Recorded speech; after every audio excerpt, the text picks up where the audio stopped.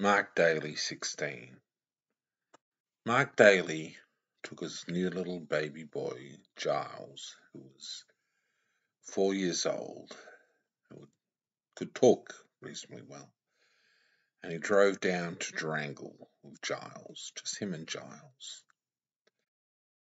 And he came to the Advancing Noah Movement Rainbow Shrine, which had been built at Durango just outside of the main part of the town and a little drive-in section near the A&M Assembly Hall, the Rainbow Shrine, which was visited. It was basically upon a rock background, a big mosaic rainbow, and there was some lettering which read Genesis 9, God's covenant with mankind. Mark sat down on the grass in front of the Rainbow Shrine and chatted with little Giles. Little Giles, let me tell you that I'm a Daly and descended from the, the old Daniel Dalys, and um, we are Noahide sort of people.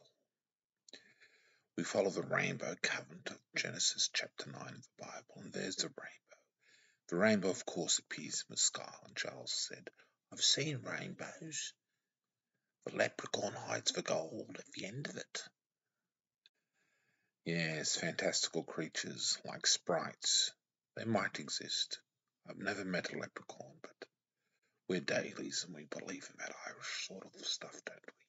Of course we do, Daddy. Anyway, we Noahides, little Giles, and we take the covenant seriously enough. We uh, read through religion from time to time, the Rainbow Torah, and we live by its principles. I'm old now. You're a new child that I have, and as you grow and become a saint of God, remember, we're Noahides, we keep the faith in an everlasting covenant. And whatever comes across you in life, the people you meet and the struggles you have and the places you go, it's a truth which remains the same regardless of your circumstances. I, I think I understand you, Daddy, said Charles. They were strong words for a young one, but Mark felt they needed to be taught at a young age to get the grounding he wanted in little Giles, this little saint of God, saint of the kingdom.